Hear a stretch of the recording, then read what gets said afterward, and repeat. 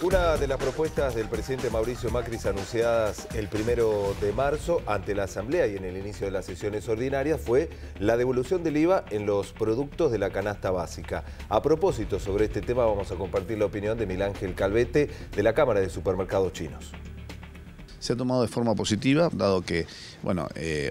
entendemos que va a, potenciar mucho la venta en el comercio de cercanía. No nos olvidemos que el segmento que es base de pirámide de consumo, el asalariado de menores recursos, compra muchos productos, casi el 70% de lo que compra lo compra en puntos de venta de cercanía. De esto se estaba eh,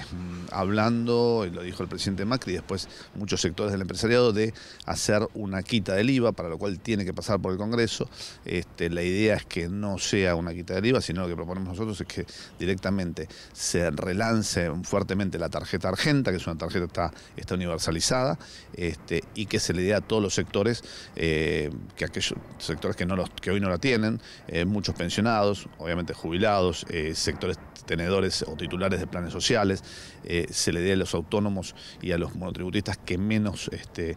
pagan, que también son mucha gente que está en una economía informal, y de esa manera se los podría, podría este, regularizar, y básicamente se les dé directamente el, el reintegro de ese 21% como una suerte de subsidio directo.